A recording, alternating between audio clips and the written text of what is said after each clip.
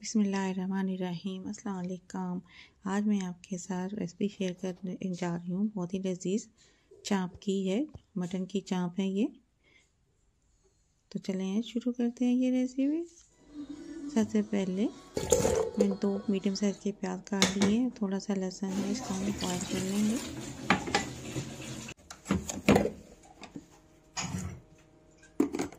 थोड़ा सा नमक डाल देंगे।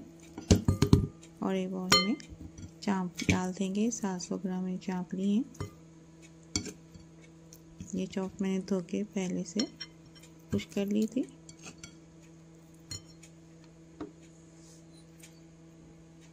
एक टीस्पून अब हम इसमें नमक डाल देंगे।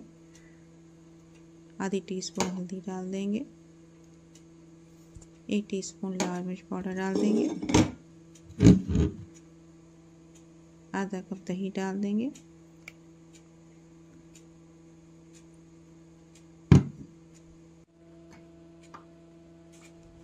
आधा टीस्पून करी मिर्ची डाल देंगे। एक टीस्पून कश्मीला मिर्च डाल देंगे, एक टीस्पून ज़ीरा पाउडर डाल देंगे, एक टीस्पून सूखा धनिया पाउडर डाल देंगे। दो टीस्पून लहसुन अदरक का पेस्ट डाल देंगे।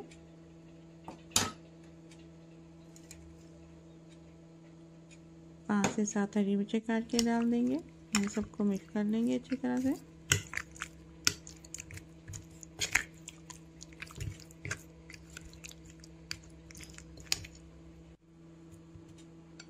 तीन मीडियम साइज़ के टमाटर काट के डाल देंगे।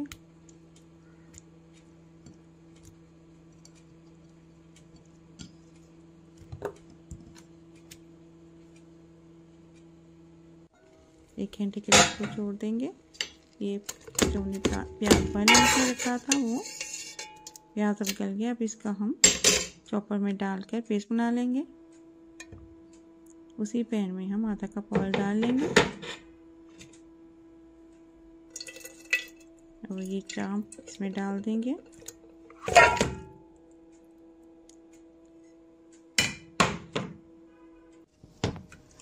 अच्छी तरह मिक्स करके और इसको रख देंगे।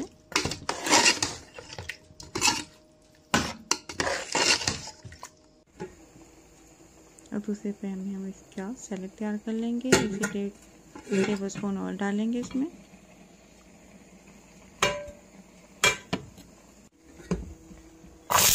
काटने स्लाइस में काट के और देर में इसको फ्राई करेंगे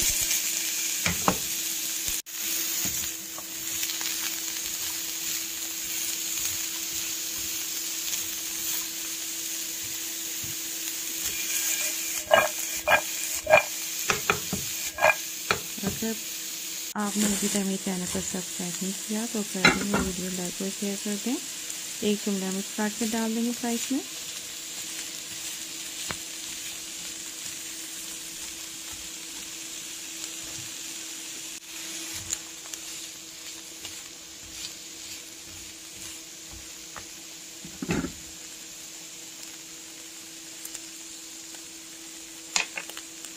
वन फोर टी स्पून नमक डाल देंगे।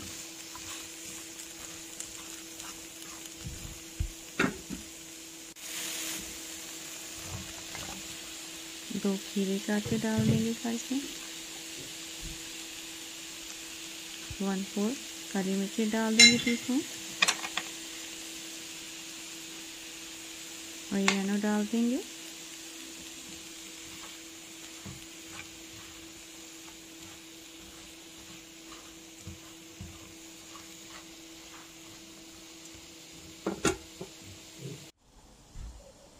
लेमन जूस डाल देंगे एक टेबल स्पून ये हमारा बहुत ही मज़ेदार सैलड तैयार है। ये चाम निकल कर तैयार हो गई है। इसमें हमने पानी नहीं डाला हमारे पास के पानी नहीं गोश्त को बुलाया है।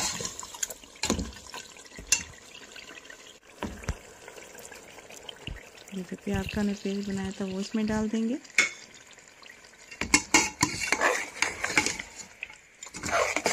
अच्छी तरीके से भून कर लेंगे। अच्छी तरह भून लेंगे इसको गरम मसाला डाल देंगे हाफ़ टी स्पून थोड़ा सा अदरक काट के डाल देंगे। थोड़ा सा धनिया डाल देंगे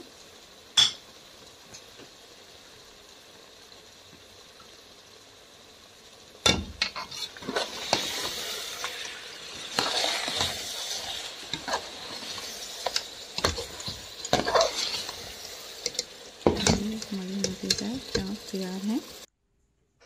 इसको सैलड और राइस के साथ लें। बहुत ही लजीज चाप बनकर तैयार हुई है ये। आपको ये मेरी रेसिपी कैसी लगी ज़रूर बताइएगा। मिलते हैं किसी नई रेसिपी में। तब तक के लिए अल्लाह हाफिज़।